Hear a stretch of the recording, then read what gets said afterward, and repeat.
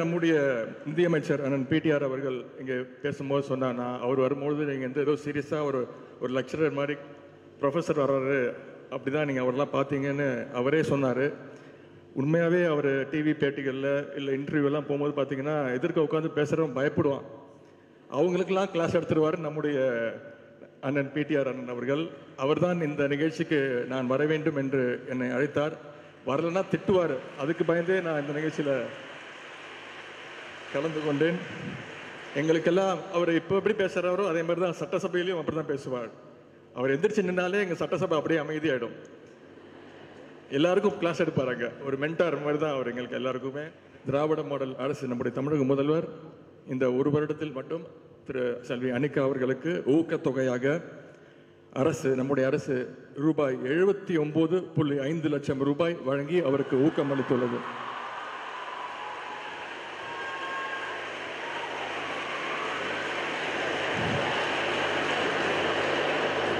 நம்முடைய அரசு விளையாட்டுத்துறைக்கு ஸ்போர்ட்ஸுக்கு எவ்வளோ முக்கியத்துவம் கொடுக்குது அப்படிங்கிறது இது ஒன்றுலேயே ஒரு மிகச்சிறந்த எடுத்துக்காட்டு. அது மட்டும் இல்லை இப்போ டி தமிழ்நாடு முதலமைச்சர் கோப்பை அப்படின்ற ஒரு ஸ்டேட் வைடு ட்ரோஃபி அதுவும் நடந்துகிட்டு இருக்கு இருபத்தைந்து கோடி ரூபாய் பட்ஜெட்டில் நம்முடைய முதலமைச்சர் அவருடைய பேரில் பதினைந்து விதமான ஸ்போர்ட்ஸ் காம்படிஷன் அதில் நடந்துகிட்டு இருக்கு விரைவில் சென்னையில் ஜூன் மாதம் வேர்ல்டு கப் ஸ்குவாஷ் ட்ரோஃபிக்கான அந்த போட்டி நடக்க போது எட்டு டிஃப்ரெண்ட் கண்ட்ரீஸ்லேருந்து கலந்துக்க போகிறாங்க ஏஷியன் கப் ஹாக்கி சென்னையில் நடக்க போகுது. இதெல்லாம் ஒரு ஒரு சின்ன எடுத்துக்காட்டு. இந்த அரசு விளையாட்டுக்கு துறைக்கு எவ்வளோ முக்கியத்துவம் கொடுக்குது அப்படிங்கிற ஒரு சின்ன எடுத்துக்காட்டு தான். நம்ம டிவியில் உட்காந்து குடும்பத்தோடு உட்காந்து கிரிக்கெட் மேட்ச் பார்ப்போம். முக்கியமான டீம்ஸ் ஆடினா குடும்பத்தோடு உட்காந்து ஃபுட்பால் மேட்ச் பார்ப்போம்.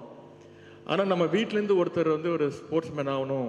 ஒரு ஸ்போர்ட்ஸில் வந்து நான் ப்ராக்டிஸ் பண்ண போகிறேன் நான் அதில் தீவிரமாக ஈடுபட போகிறேன் அப்படின்னு சொன்னால் கொஞ்சம் பேரண்ட்ஸ் பயப்படுவாங்க.